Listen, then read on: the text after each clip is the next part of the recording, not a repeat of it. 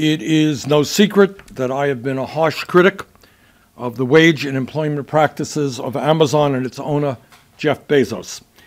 It has been my view that the middle class and working families of this country should not have to subsidize Mr. Bezos, the wealthiest person on earth, because the wages he has paid his employees are so low uh, that many of them are forced to go on food stamps, Medicaid, and uh, subsidized housing and other governmental programs.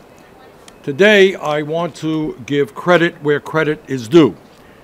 And I want to congratulate Mr. Bezos for doing exactly the right thing.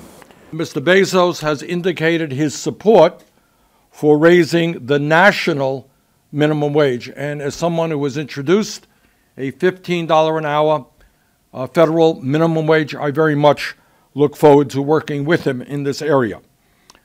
Let me take this opportunity to thank the many hundreds of Amazon workers who contacted our office talking about the wages and working conditions uh, that they were employed under.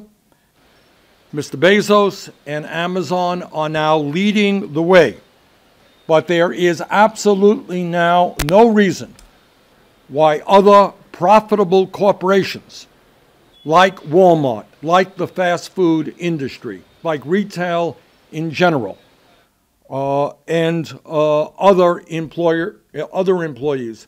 No reason now why they also should not be paying their employees at least $15 an hour.